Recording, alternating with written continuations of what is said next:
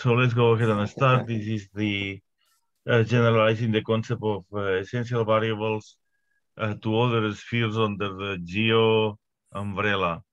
Uh, we have a program uh, for you consisting on the following list uh, of, of you know, sessions. lessons learned from the geo essentials will start uh, the discussion with the general view, and then we will focus on uh, biodiversity and geodiversity if you want. We will focus on agriculture. We will focus on water. We will focus on health, and then we will open a little bit the view uh, to the to the whole set of uh, sustainable development goals and uh, the use of essential variables as uh, as an enabler of the platform to the Sustainable Development Goals. This should last only 30 minutes, so it should be very agile. And after that, we will reserve half an hour discussion. So I'm Joan Masó from uh, CREAF. This is my only opportunity to present myself.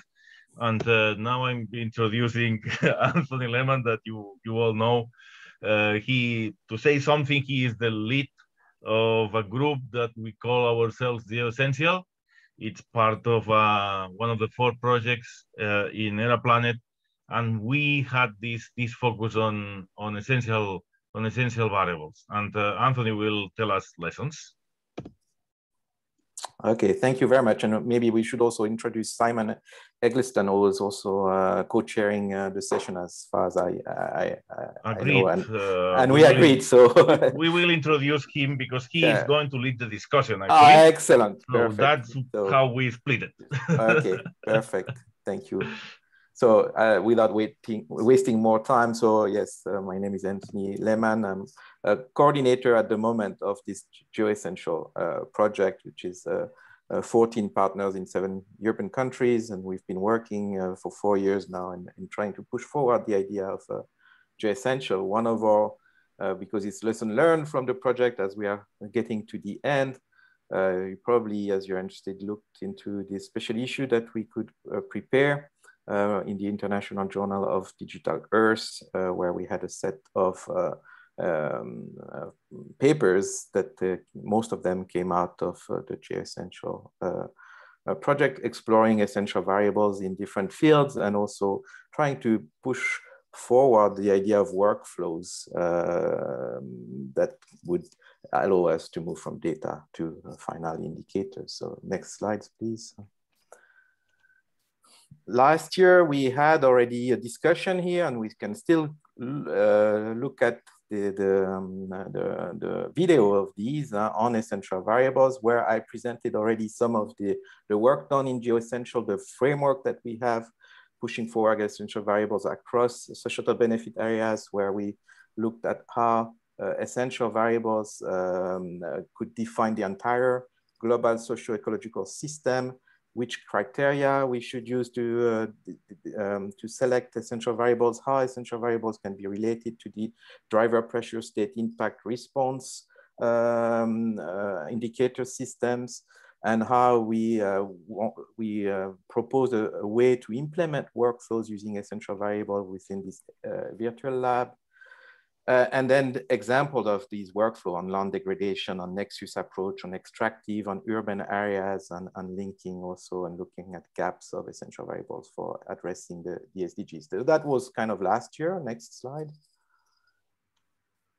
This year, we uh, are working now on a paper to try to get a, a, a newer vision of where we stand in uh, the different kind of area of, of interest of geo of course, describing the Earth system, you have atmosphere, biosphere, geosphere, hydrosphere, where in most of these fields now, and we discovered, in fact, the ge geodiversity uh, um, uh, essential variables.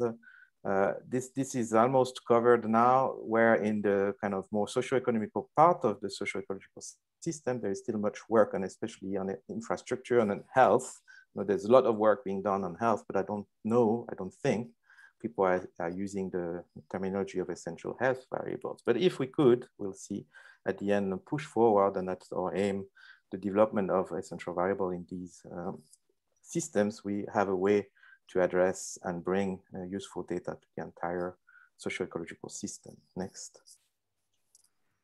So I'm just now going to focus on some outputs of our recent outputs of the, the project, where here we have a, the paper that has been submitted, uh, where exploring which essential variables we need to define to, um, to uh, uh, describe so-called ecological infrastructures, where in Europe, at least in Switzerland, in my Geneva town, uh, they are interested in defining this ecological infrastructure to set priority, what needs to be preserved on the landscape and priority, and using uh, essential climate variable, biodiversity, and water, uh, agriculture, set of essential variable needed to do this kind of policy um, planification.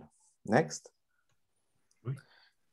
Uh, I think you jumped one or no? Uh, yeah, you jumped one, sorry.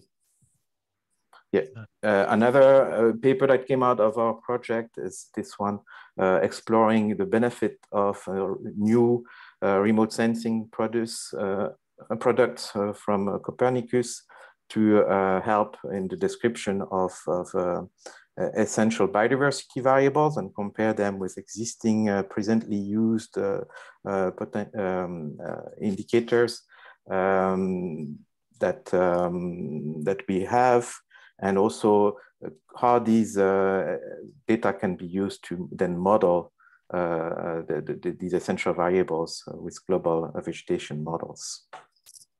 Next. And another paper was exploring uh, um, essential climate variable on the terrestrial part and how uh, we can, uh, we should be using um, methods to, to um, to uh, assess the quality and uncertainty of these different variables. So here uh, we have on uh, different uh, so-called essential climate variable, LAI, uh, NDVI, ET, and so on. And there, the proposition to, to assess them in different dimension uh, was made. Next. And here, a very recent paper linking essential variables to the Swiss data cube by my colleague Gregory Giuliani, who uh, looked uh, how the Swiss data cube, which is archive of all the remote sensing available data across Switzerland, uh, can help define uh, the, the, these different set of uh, essential climate, biodiversity, and, and water uh, variables.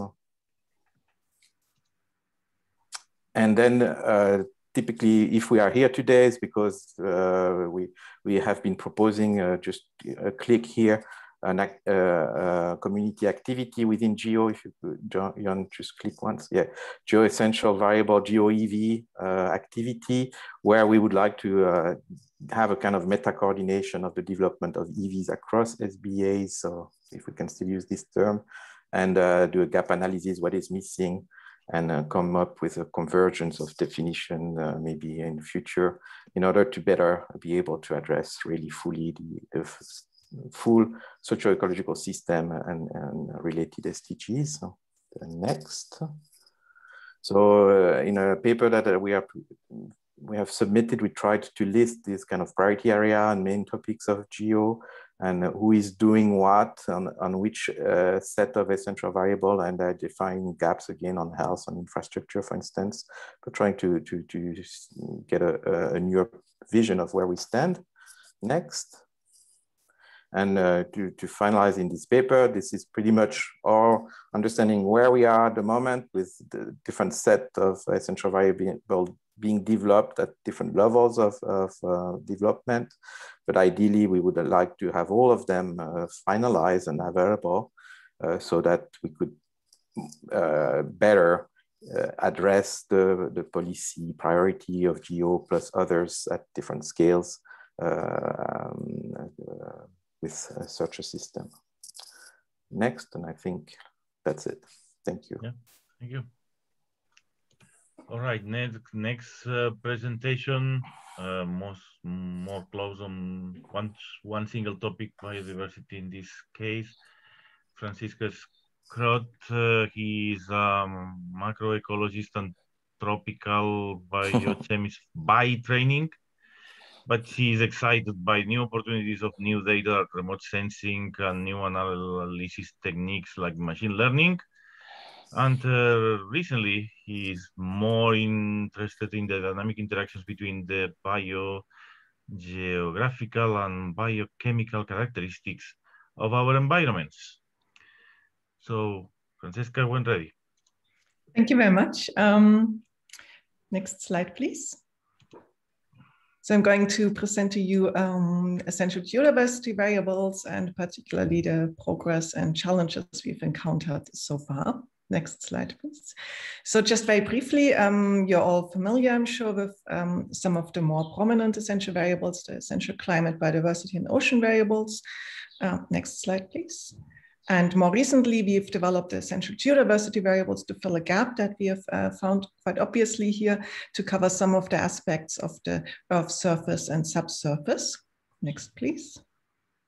So um, EGVs, very briefly, are abiotic or non-living variables, um, which are related to key surface and subsurface state and processes, especially those related to geology, geomorphology, soil, and hydrology. And like um, all other essential variables, we wanted them to be relevant to natural resource management, human well-being, conservation, um, and or ecology, but also to be complementary to and not duplicating other suites of essential variables. Um, then we also want them to be uh, feasible and cost effective to measure. Next, please.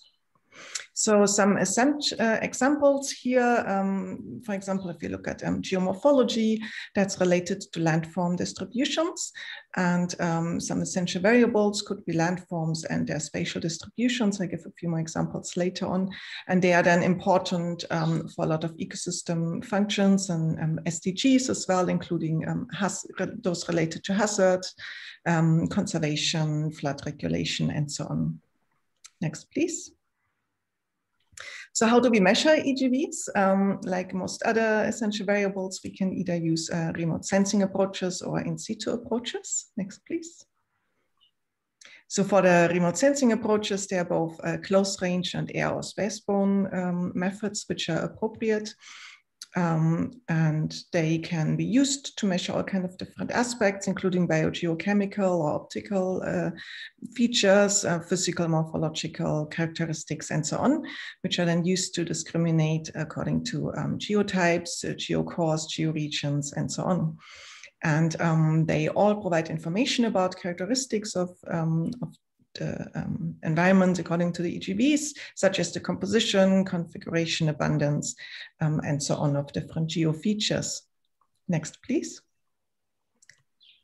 Unfortunately, in situ approaches in our case are very difficult to access at global scales, largely because a lot of those um, geovariables are very important for resource management and extraction, including mining. And so, of course, they are not available in open access databases. Um, we are currently working on, um, on a rapid geodiversity assessment protocol so that we can hopefully get a bit more uh, in situ geodiversity data globally. And we are um, developing that together with colleagues at the University of Oulu. Um, so um, what we can do is already measure a lot of EGVs with remote sensing um, at a different range and, um, of resolutions and extent. So for example, in uh, last year, we published a paper on remote sensing of geomorphology, and there are a lot of examples there and um, and um, an analysis of the kind of data that is um, is accessible to us now and in the near future. Next, please. And then equally uh, with regards to remote sensing of soil features and characteristics, um, we published that in 2019. And again, there's a, a, vast range of soil characteristics that we can already nowadays access remotely, including um, geochemical and geophysical features, but also structural, taxonomic and functional features of soil. Next, please.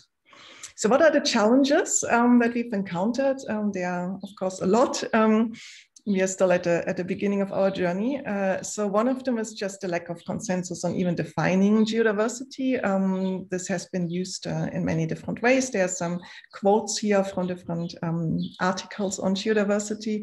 As you can see, some of them are just um, a bit more um, constrained, just related to soil and topography. Um, others just cover all kind of earth surface materials. Um, others include also the atmosphere. We have adopted a, um, the uh, quote you can see at the very bottom, so the variety of abiotic features and processes of the land surface and subsurface. So we exclude the atmosphere here, but keep it a bit broader than just soil and topography. Then another um, challenge is the lack of research on which geodiversity measures are actually essential in the terms of um, essential variables, especially with regards to the relevance of those different um, aspects for biodiversity and um, sustainability and so on. And again, there are many groups working on resolving that at the moment. Next, please. And then also with regards to measuring EGVs, um, it's very difficult to access lag and legacy effects because we have a, a acute lack of long-term temporal data. A lot of this remote sensing data I mentioned is relatively um, recent, so we can't really um, infer a lot about the, the lag and legacy effects and whether that's important to measure or not. Um, then there's also, as I said, a lack of access to especially harmonized in situ data. As I said, we, we work on a protocol to help with that at the moment. Next, please. And then finally, also a lack of research on optimizing remote sensing techniques for the assessment of geodiversity dynamics specifically. Um, so there are a lot of constraints, of course, also with um, the opportunities offered by remote sensing. Um, and a lot of the instruments were not specifically developed to assess geodiversity. So um, there's a lot of tweaking that has to be done um, to make it usable. Next, please. And then finally, we have a Royal Society meeting upcoming um, on essential geodiversity variables early next year. If you're interested in joining that, please feel free to email me. Thank you. Thank you. Uh, all right, so interesting uh, to discover new aspects of the essential variables. Let's uh, move into the agriculture uh, sector.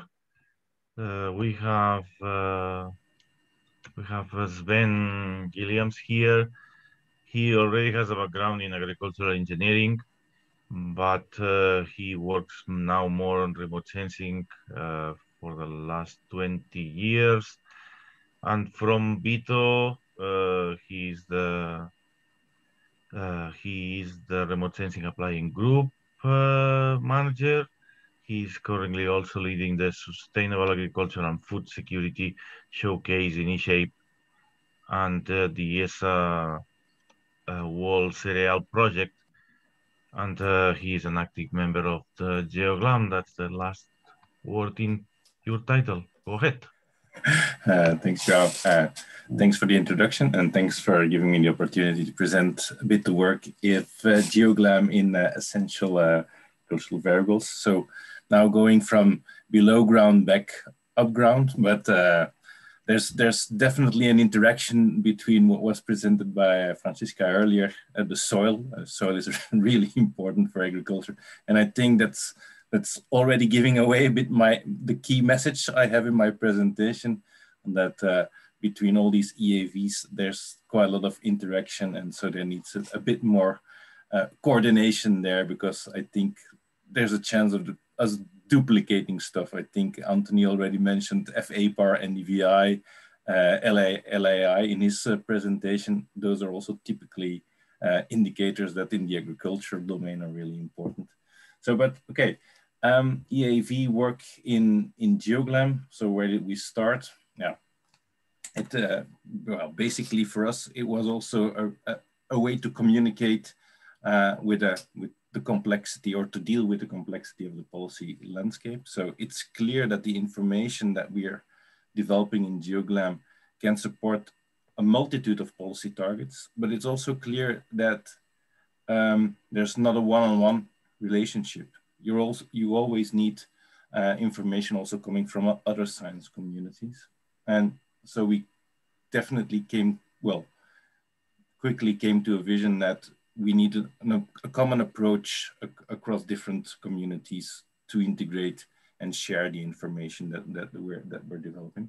But for that, leadership is required uh, to get the integrated approach. And also um, it needs to be, that, that leadership needs to be authoritative across the multiple um, communities. Um, and that's in fact already my takeaway message. It's always good to put it in your first slide. That's what I learned from uh, uh, the people at GRC. Um, next slide, please. So how do we tackle uh, EAVs within um, uh, the GeoGLAM?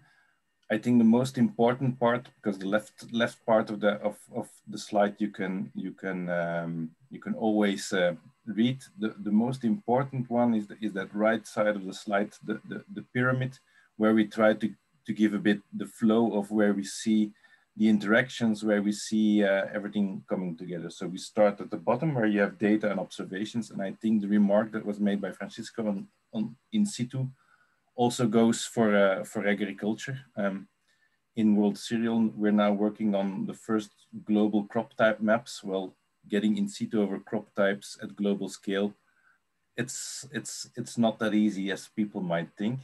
So from the data, those flow into the essential agricultural variables where we see the interaction with the other communities on the EVs, but it's not a one direction flow, it's also circular flow because the EAVs will also define gaps in data and, uh, and observations. From that, we go into the core products. We're still in debate if we need that differentiation, but let's, let's have it for now. So core information products flow into knowledge and knowledge will flow into sustainable decisions of policy level. Um, next slide, please. So what's the importance of the essential agricultural variables to us? So they're really fundamental in driving our data needs, so in, in situ data, but also new, new data. Um, they're driving our observation needs, um, but also the level of ARD and ARD plus. Um, and they drive our R&D priorities. Um, so that's really, really, really key. And as explained already, EAVs can really help address many policy drivers, but also um, we need integration across different uh, science policies. Um, next slide. So where are we at? Um, there's a GeoGLAM working group on EAVs, so uh, essential agricultural variables. Um, we had a couple of in-person when we're still allowed. So you can guess how long we're working on those ones already. So it's almost a year ago since we've seen everybody in person. So in-person meetings, but also some virtual meetings to discuss each variable. So um, we had a, we have a whole list of what we call essential agricultural variables. Um, also there we see overlap with other communities. So we're also in that list, we're trying to link with other communities. If definitions in other communities are good or better than what we can come up, we use those. If there's an extra need for making it an agricultural essential variable, we keep it as a, we keep our own definitions.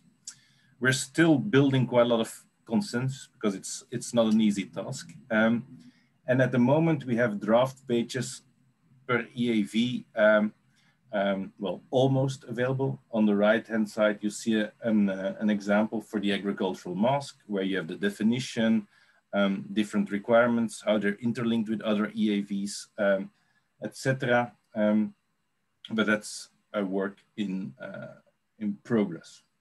So, and finally, I think we look forward to work together with the other geo communities on EVs. Um, some some possible ways is is or some a possible way to start working together is is um, maybe a demonstration project um, identify a policy driver that requires integration between different domain um, get the communities uh, together and then I think the last one is also maybe try to get some funding and and and proceed with this with this work on a on a integrated way and with that that was my last slide. Thank you very much.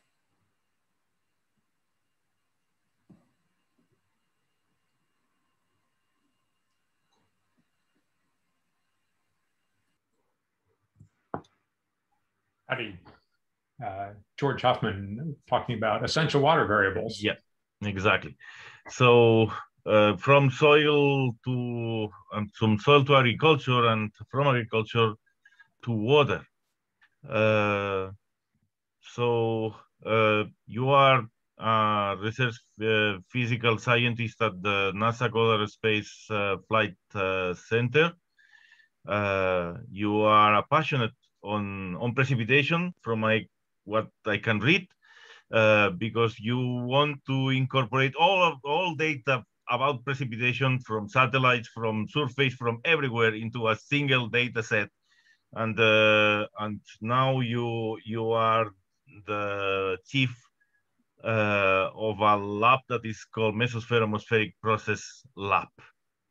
So please go ahead. Okay, so think I show the, go to the next slide. Uh, whoa. it's a little bit dark, uh, but still readable, I hope.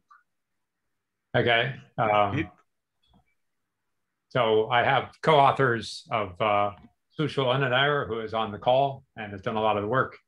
Uh, uh, Angelica Gutierrez, which is who is uh, uh, the head of GeoGlows, and Rick Lawford, who has done yeoman labor for a lot of years, probably in some of your communities as well. Okay, next slide.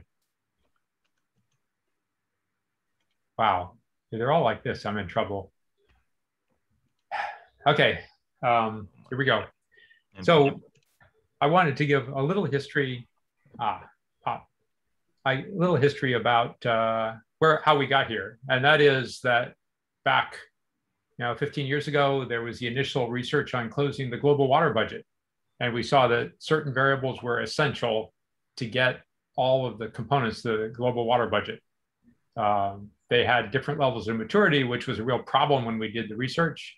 And uh, the variables came from and are needed by many different communities. And my suspicion is that the, at least two of the essential variable groups we've already heard from have water as some of their variables. Uh, next. Um, so what we did was, this is a, actually before my time with this group, is there was in 2010 a water needs societal benefits areas report. Remember that societal benefit areas, and uh, every variable. What I can report, I'm summarizing about 10 pages of fine print of tables. That every variable has needs for different communities that range from short and local to climatological and global. Um, it, it didn't bound the problem and we, we are still discussing how we can make the best progress with making the most people happy. Uh, then in 2014, there was a GEOS water strategy report uh, edited by Rick Lawford and really reported on the status in, in fair amount of detail about the different variables. Um, and once again, it, you know, it, it is impossible to escape noticing that some of the variables are in, in sort of rugged shape and some are not in such bad shape.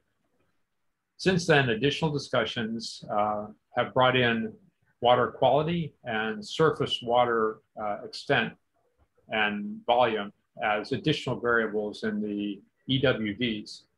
Probably, you know, five years ago, we thought we sort of had the list, and then um, Geo suggested that, that these additional uh, items should come in, and uh, we, we have partnered with uh, uh, Geo Water to to make that happen. Right now, Rick Lawford is leading a status update on the water strategy report, which is already five years old, six years old, and uh, you know what, how we're doing. Okay, next. So it turns out that that water just touches every amazing range of these international uh, things that we all care about. The key organizations I'll point out are the Integrated Global Water Cycle Observations, IGWCO Community of Practice. That's been around for a long time and it was founded for, as it says, the, the global water cycle. In addition, there's the uh, GeoGlows, Geo Global Water Sustainability, which now sort of shepherding IGWCO and, and uh, the water variables in general. And AquaWatch, who has joined with us to get these uh, water quality and other, uh, you know, sort of more qualitative things. Right now, the list of EWVs is pretty late in its revision, but it's still, you know, open for discussion. I think this will always be a living data set. The goal here is not to name as essential the things we can measure. The thing is to name as essential the things that we need and then figure out how to measure it if we're not able to do it yet. So we uh, seek endorsement and use from the communities at large across GEO and uh, welcome your support. Uh, next. So my eye test. There is, there is a, Ah, yeah, here. Yeah, there we go. Um, the, the cells that look unoccupied actually have lots and lots of little X's in them that were maybe the wrong color. Um, and so when, when we hand out the slides, you'll be able to see this correctly. But imagine that essentially every box in that grid is filled in. All of these different international things depend on the various essential water variables. To, ah, there we go. Um, you'll notice that health probably depends on the fewest, but even there, there's a number of X's. And so we think um, we're on the right track with what these variables ought to be. The first two columns show you how we can sense these both remotely and in situ. Um, what I can tell you as a data provider, even though I'm tagged as a, as a satellite guy, we desperately need all of it. We need in situ as badly as we need the remote sensing. And anytime I have a chance, I say, if you have access to in situ data that's, in my case, water data, that's not getting into the system, we need it. Okay, so these are the essential water variables, but it turns out when we thought about it on the next page, there are also uh, supplementary, what we call supplementary essential water variables, things that we really need to know in order to do a good job getting what we have to know. And in particular, something that's recent um, is on the next to last row, bathymetry. Um, if you know water extent and you know the contour of the Earth's surface under the water, then you can get volume. And so uh, that's, that's very powerful in terms of uh, uh, available water. So I suspect some of these are um, on other people's lists as well, maybe as your primaries. And so one of the things I would suggest here is that in the whole EV uh, constellation, uh, we probably only need to do bathymetry once. And water guys don't need to do it. The, the land surface people ought to do it, but we need to know what they're doing for us or to us. And that's my presentation. I think the next one is just a list of references. Early on, I was showing you various things, and this is how you actually get to all those things, plus a few extra. So I'm done. Thank you. Oh, thank you. Thank you, sir. You passed your eye test uh, proficiently. Uh, sorry about that. Uh, this is what happens when you mix several presentations all together. Uh, okay, next presentation is about health. Uh, John uh, Haynes uh, is uh, serves as uh, program manager for the health and air quality applications uh, in the applied science program of uh, the NASA Earth Science Division. And uh, he is also uh, the co-chair of the Geo Earth Observations for Health Initiative and the Geo Health Community of Practice. So please, floor is yours. Oh, th thank you so much. And thanks to all the organizers for inviting me to speak here with you today from the health side of the coin. I would be remiss, though, not to mention my co-chair uh, for both the Earth Observations for Health Initiative and the GeoHealth Community of Practice is Juli Trtanj of NOAA in the United States and our executive coordinator, Helena Chapman of NASA. Without them, uh, it would not be the success that it is. So today I just wanted in my, in my few minutes here, just to give a bit of an overview of the GeoHealth community of practice, what it is, how the Earth Observations for Health Initiative fits in, and what are some of the critical observations that we are utilizing in, in the community and in specific projects.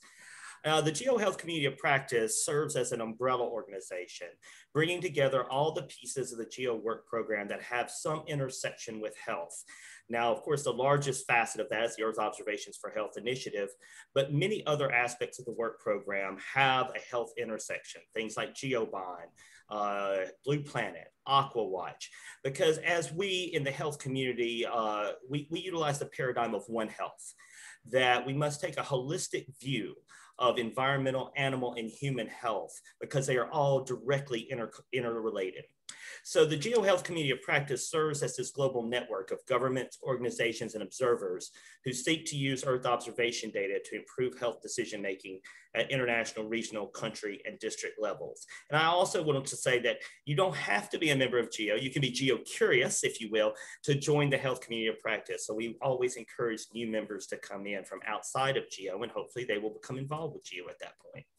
Uh, we have been, since the beginning of the global pandemic in March 2020, holding weekly and now bi-weekly teleconferences of the health community, uh, while also speaking regularly at a wide variety of workshops and symposium, including here, of course, the Geo Virtual Symposium, also coming up at the AmeriGeo Week for the Americas in August, where health is one of the priority focus areas of AmeriGeo.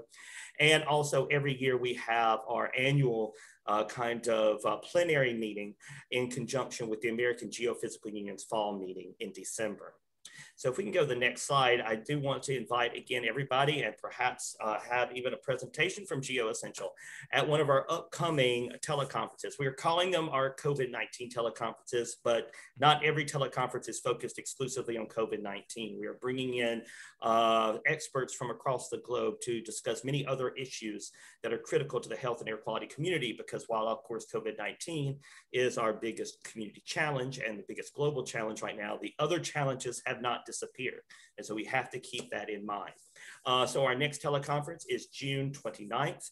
Uh, at 8.30 a.m. Eastern time in the United States, that's GMT minus four. Again, please visit our website at geohealthcop.org. Not only can you see information about the pro- some of the projects I'm going to talk about today, but also information and presentations from our previous telecons, as well as the agenda for future ones as well. It's really a great resource. So let's go to the next slide. Also, um, I'd like to mention that our community of practice has self-organized into small working groups around critical issues of the health and air quality community. And these small working groups are looking to address gaps in knowledge of, among these uh, topic area, topical areas, as well as looking for opportunities of how to uh, have GEO respond to these issues and potentially inform future GEO work programs. That includes a heat-related health risk uh, work group, an infectious disease one, an air quality, wildfires, and respiratory health group, a food security and safety group, as well as a healthcare infrastructure group. So let's go to the next slide. So certainly, and we're talking about not only remote, remotely sensed from our satellite constellation, but also in situ, that there are a variety of, of Earth observations, and many are critical for health and air quality applications. These are just a few of them, like land temperature, sea surface temperature, vegetation density, precipitation, fire and thermal anomalies, aerosols.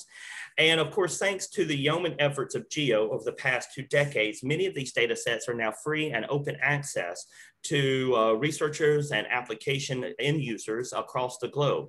Uh, for example, all of NASA's uh, Earth observation data from our Earth um, our, our, satellite constellation of 20 plus satellites is all free and open access to the world at earthdata.nasa.gov. So this provides a, a great resource for the globe in being able to harness these environmental observations when looking at the issues that are related to health and air quality. Let's go to the next slide. So in the Geo Earth Observation for Health initiative, we currently have five active projects that are working in connecting Earth and environmental observations to health issues. I'm only going to talk about a couple of them. Uh, again, on our website, you could see much more information on the other projects. One of them is looking at environmental determinants of gastrointestinal diseases. And this is led by Dr. Benjamin Zaitchik of Johns Hopkins University. And Dr. Zaitchik for the past couple of years has been utilizing satellite observations of temperature, soil moisture, and precipitation to understand global rates of gastrointestinal illnesses. Uh, this is in collaboration with a large global cohort health study. And of course, you have to have other information beyond environmental when you're looking at these issues, such as socioeconomic information, demographic information, of course, infection data. Uh, once the global pandemic began and was declared in March 2020, Dr. Zaitchik was uh, further augmented in his project to study how similar data could be used to investigate potential environmental factors that may influence COVID-19 transmission. And that work is continuing, of course, to this day. It has been uh, tremendously helpful that he has been able to leverage the health community of practice of GEO by bringing in many other partners across the globe to help utilize their data sets and their information to help study this issue of COVID-19's potential seasonality. Let's go to the next slide. Also, I'd like to mention that one of the silver linings in this terrible year and a half that the globe has faced during this pandemic is a, a sterling example of international collaboration that emerged between NASA, the European Space Agency, and the Japanese Space Agency. And this was the COVID-19 Earth Observation Dashboard that you can visit at the website at the bottom of the screen. Uh, this dashboard uh, is open access, free to the public, and researchers across the globe and provides a wide variety of economic, agricultural, air, and water indicators to not only help understand and inform how environmental indicators may affect the spread and transmission of COVID-19, but also how our human behaviors during this pandemic have impacted the Earth system.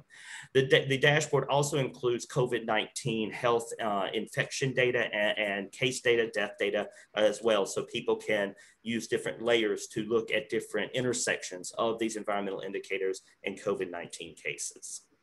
Let's go to the next slide. Also uh, mention another project that's very important when you're talking about vector-borne diseases. It's a project developing a malaria early warning system for Myanmar in Asia led by Dr. Tatiana Loboda of the University of Maryland in the United States. Dr. Loboda has worked over the past several years to develop this early warning system for Myanmar in collaboration with the Ministry of Health in that country and Duke Global Health, using a wide variety of observations. Of course, the environmental variables are very important, such as surface temperature, vegetation stress, and surface water.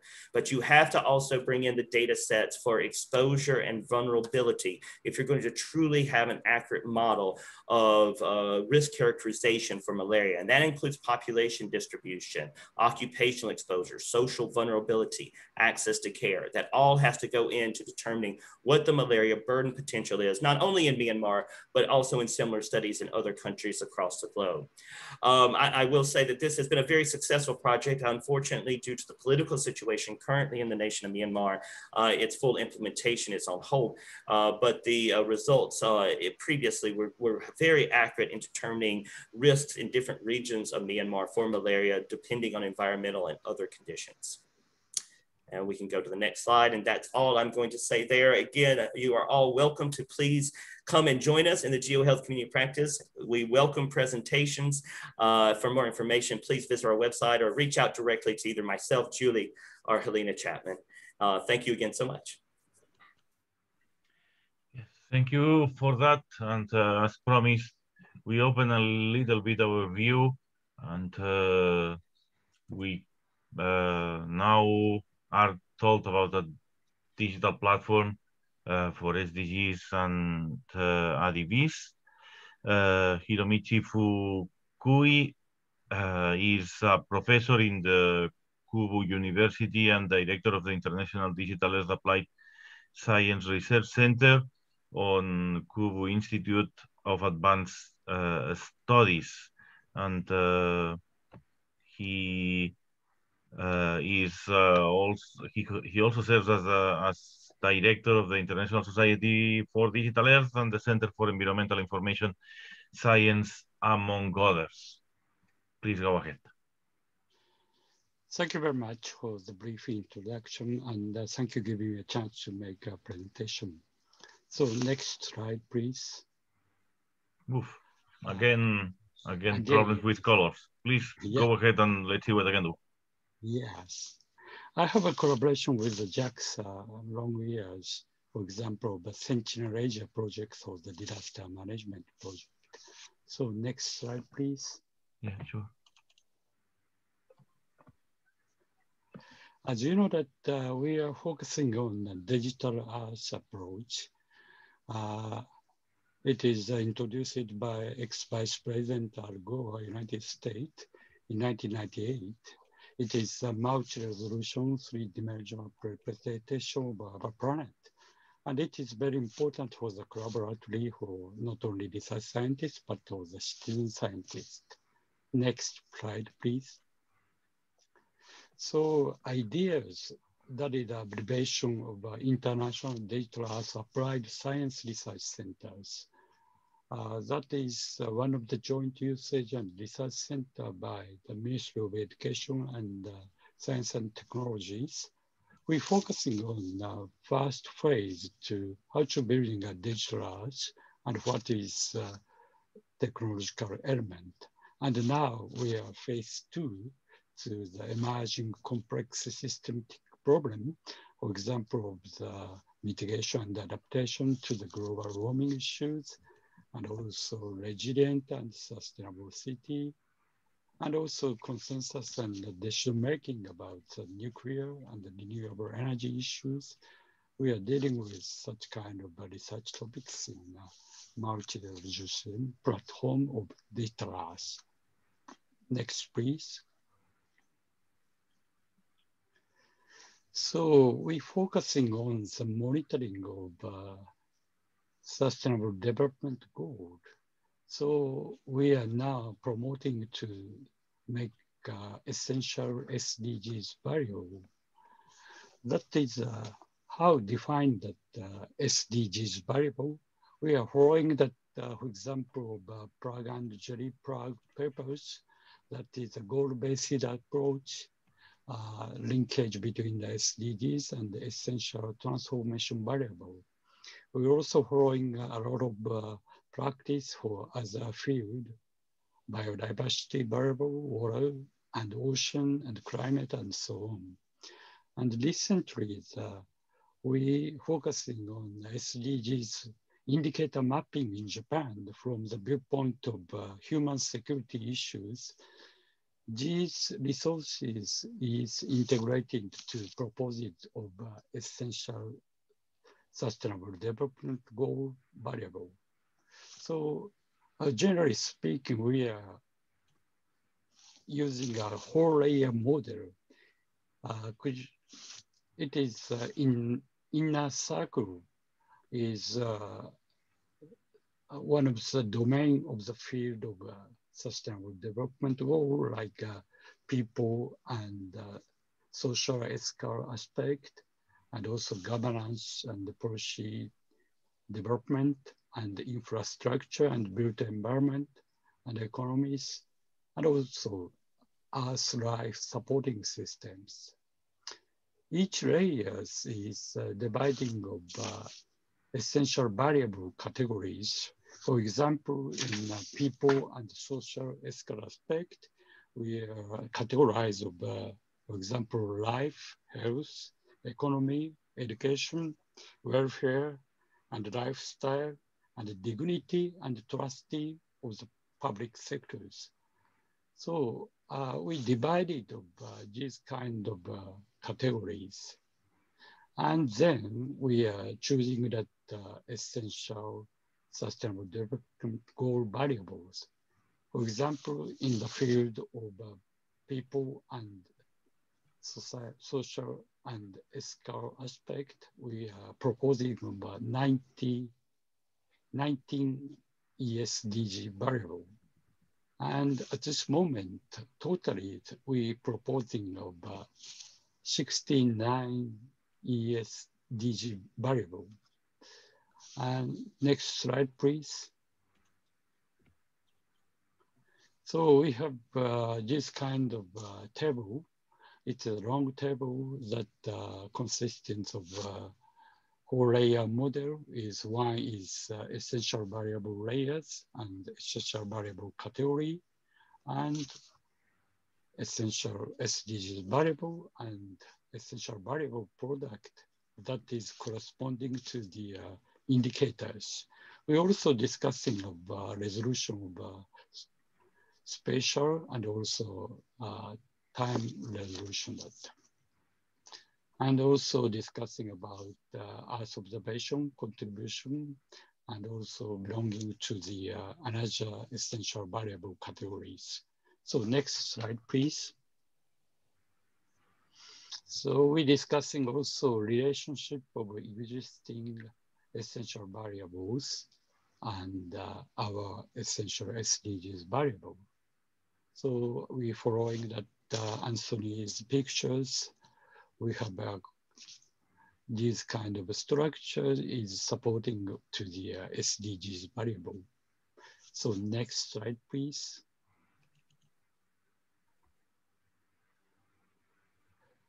So this is a conceptual data flow of the data as platform. And, uh, as you know that uh, we are discussing about uh, UN GGIM, they are proposing over these kind of structures, uh, goal, target, and indicators. We are focusing on the how to mapping the indicators. In that case, it is uh, useful to employing that uh, essential variable concept.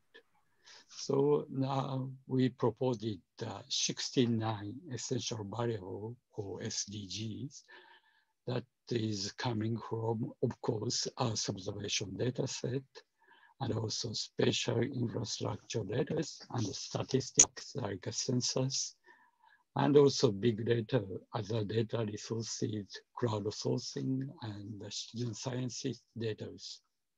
That is uh, general flow of the data as platform. So please next. We're also making a platform for the SDGs variable monitoring and uh, visualizing system by using a digital as platform. It is architecture of a digital as SDGs platform. So there is a whole layer model is uh, bottom layer is a resource layer and uh, data management layer and server service layers and also client layers.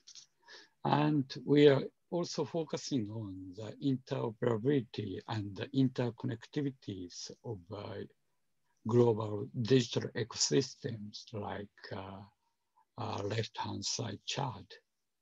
So interoperability is one of the key issues to making such kind of uh, platform. So please next, please.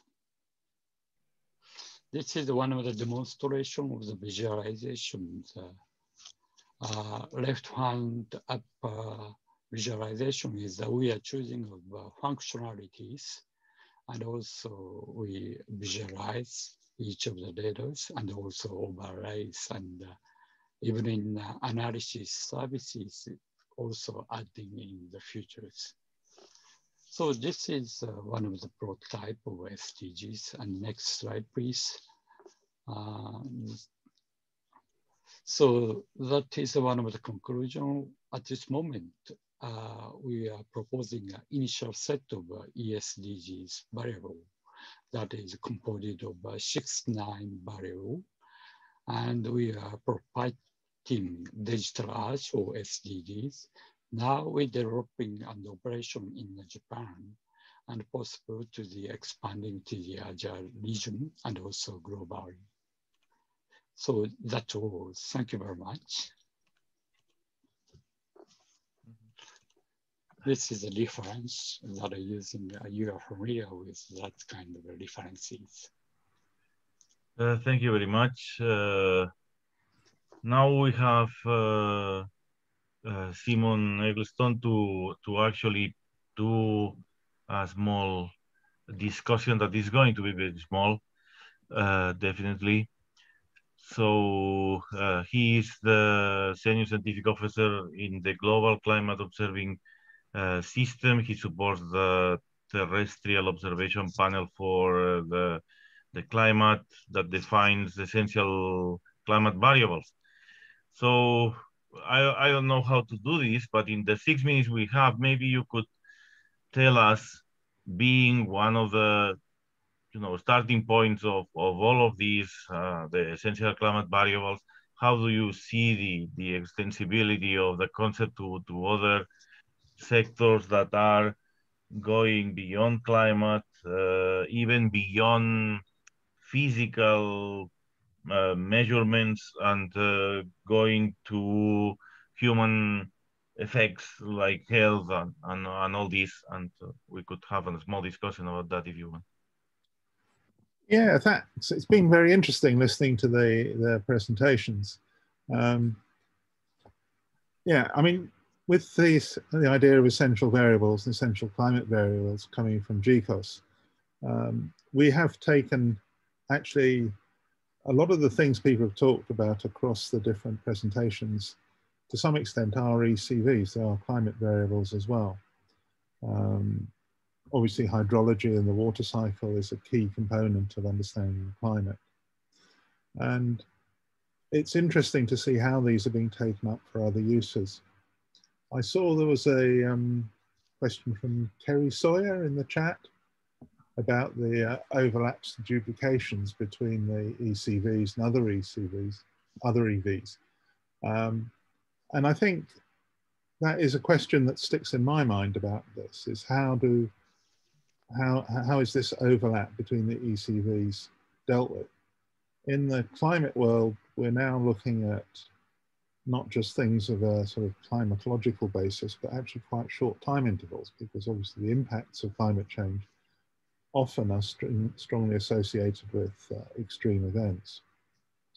Uh, so again, in hydrology, flooding, extreme precipitation, and so forth.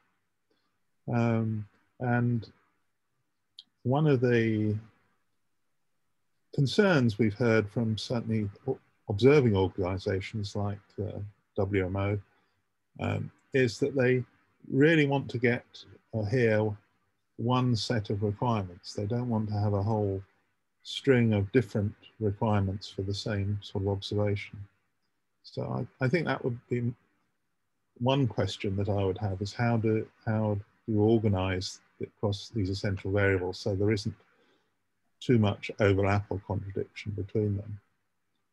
I think another thing that did strike me listening to all of this was, um, you know, how, how much further can, it, can the idea go? Uh, we seem to be covering a large part of society now. And uh, is this enough or are there other areas that need the same sort of variables?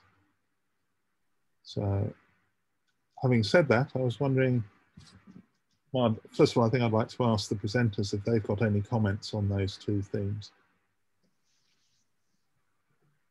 Yeah, George Huffman. Um, I, the point is well taken from the administrative side that one set of requirements is enough. Um, and my observation is that if you want coarse scale variables, you can average those from the fine scale variables. But it is not possible to average, get the fine scale variables from the coarse scale variables. And so as we define these things, what, what we found in our group is that you head toward the finest scales that you can support and then when people want coarser scales, you give them coarser scales. Now, we, my thumb is on the scale because, in fact, in our precipitation work, we most trust the monthly products we create because it, some of the, the nasty random stuff is averaged out. But in principle, you know, it's up to me to figure out how to get the best possible fine scales out of the data I've got. And then if you want something coarser, in fact, my fine scales by definition add up to the to the monthly. So the monthly you get is the thing that we trust the most. And so I, I would put forward that we need to be figuring out how to get fine, legitimate fine scale stuff that supports that community. And then that provides the basis for getting the coarser scales. The problem with that in general is fine scale tends to be a shorter time period. The coarse scales frequently go use data sets that go further back in time. I understand that. So we're not done. No, we certainly aren't. yeah. Has anyone else got any thoughts? Yeah, I raised my hand. I don't know if you, um, yeah, my understanding by running this GeoEssential project was that uh, obviously from last year, there was already a lot of new things coming out on essential variables and we nobody can really direct it. It's happening. And uh, even though I would have loved that uh, somehow the essential climate variables were covering everything so that the story was uh, finished. It's not the case, and you cannot really stop other communities to think the same way you did. And uh, my concern is that at least within GEO, we managed to push forward for the different so-called SBAs, uh, the set of essential variables, not only on the Earth system sides, but also on these uh, socio-economical activities like agriculture or health and so on. And indeed, it is, it's improving. And I guess our GeoEVs uh, community would like to promote uh, this uh, spreading of this great idea of, of essential variables across and, and as it was, I think, demonstrated by uh, um, uh, the last presentation, uh, it, it would help us address this more complex issue of SDGs and so on and so forth. Yeah, not, and not only address, uh, but also to, to assess the overlaps. So that's why the community activity is important to find these, these possible overlaps and, and look for solutions for, for that. It's uh, 7.30. I don't know if we are going to be, you know, removed from this room, but uh, that doesn't mean we can try to discuss a little bit more, and see what happens. So, Franziska, please. I'll, I'll, just start talking if I stop in the middle, then that's, you know, why. um, so I, I still think there's value in having some overlap because we come at essential variables from different disciplines, even if we if, if we call it the same thing. So for example, with the bathymetry, that's something that we have also looked at within the EGVs, and um, we heard that it's also of interest to the water um, variables, but for different reasons. And I think um, somebody mentioned it in the in the chat that one one factor is um, the resolutions and the different kind of uh, temporal and spatial um, aspects that we need to to keep in mind depending what we want to use it for. But also, I think that just uh, having the expertise there helps because maybe if, if you ask a, a geologist about um, developing EGVs and measuring um, geology, they will come up with different data that they say is important and they understand the data better. Like um, with the climate data that you know, you trust the monthly data more than, than the, maybe the daily or hourly data. So um, yeah, I just, I, I think there's, there's value in having different disciplines looking at similar um, variables. Yeah, yes, I, I think that's very true. And I, I think, I suppose what I'm really getting at is though that there needs to be some communication between the, the different disciplines when they're looking at a similar variable. oh, definitely, yeah. The case yeah. I think and there has been a lot of overlap um, in, in efforts as well, which is, I mean, we we are restricted in terms of um, financial and people power. So it's it's a shame if we duplicate efforts unnecessarily. Yeah. Sven? Yeah, no, I think that's that's absolutely absolutely true, and that there is value in in in different communities looking at the same indicators. What we've been doing with agriculture, because I think what um, the GCOS uh, essential global variables is something that we're definitely looking at, and we're actually looking at those definitions, how they're used, and how they can be used within the agricultural community. And we only say, okay, we we take extra measurements or we adapt those things if they're not directly applicable within our own domain. If they are, fine. We're not going to define precipitation in agriculture differently than, than, than in another community because we can implement it in the same way in agriculture. So I think that's, that's, that's, and I think this is really crucial within this group, looking at all the definitions that we're using, which variables we're using, how they're used, and then communicate between each other how they use so that there's only duplication where duplication is needed. Let's put it like that.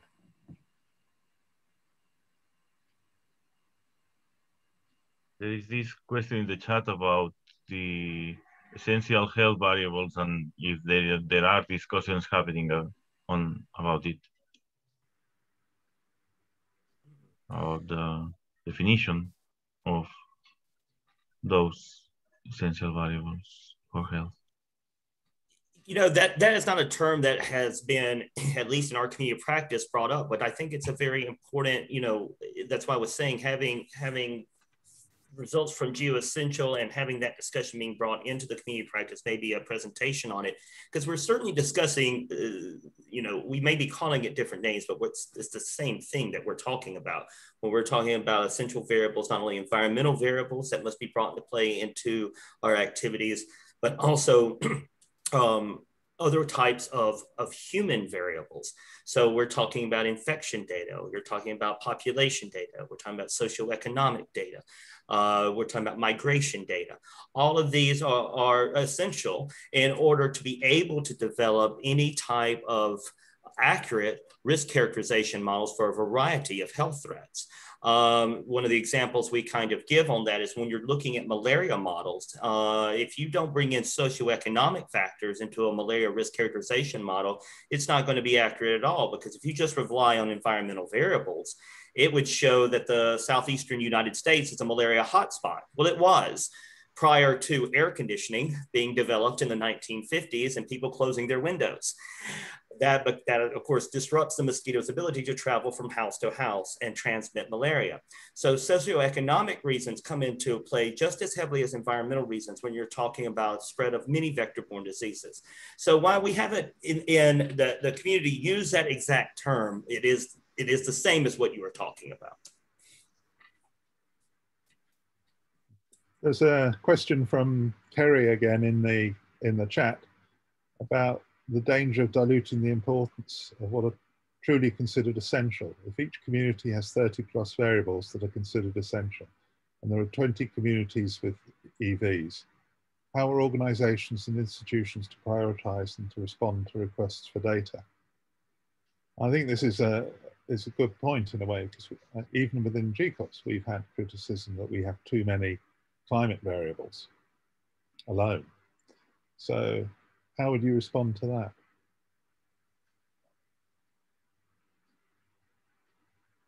I think it's a bit of a chicken and egg problem as well, right? So before we have the data, maybe we can't say if it's important, but we need to invest in getting the data first. So uh, yeah, at least in, in, in my community, we, we have that issue and we are looking at um, a lot of groups are working on, on um, finding out which ones are essential. As I said in, in, my presentation, that's one of the challenges we have. And I think um, the more finer scale, higher resolution data we have, maybe the more um, we, we change what we see as essential or not. It's, I think it's a dynamic thing as well. It's definitely a challenge. And I agree that essential variables lose their value a bit if, if we have too many of them. Yeah. There's a comment from Stephen in the chat. I thought GeoHuman Planet was already working on essential socioeconomic variables. I don't know if anyone knows anything about that.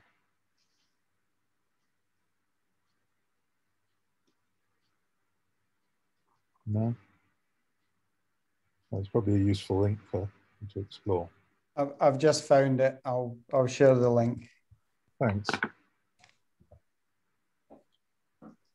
essential societal variables.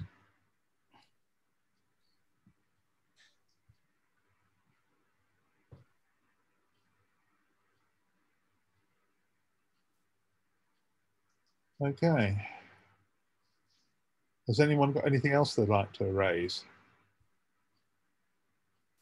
An umbrella. Have you looked out the window?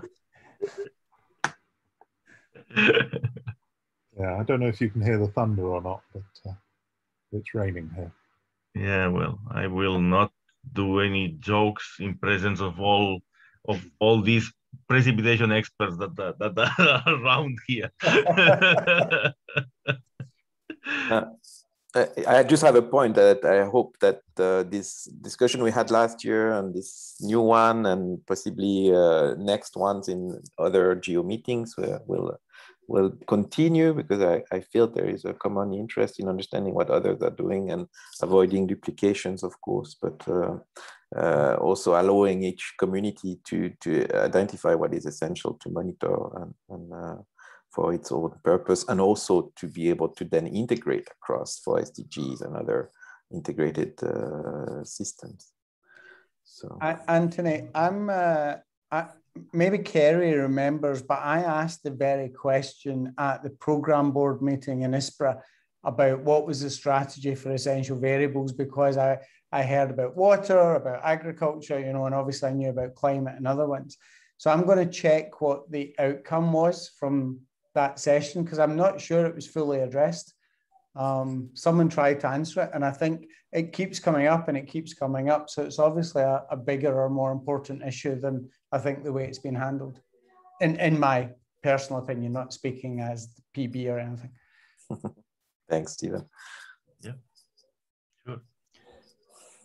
Okay. So, and that, and with that, maybe we could conclude the, the session with the hope that uh, we will continue discussing that uh, uh, in the program board as well as in the community activity that uh, we will continue pushing. Thank you very much, everybody. It has been it has been very informative uh, and uh, also very stimulating. Yes, thank you very much. It's been great. Thank you. Bye. Thank you. Thank you all. Bye bye.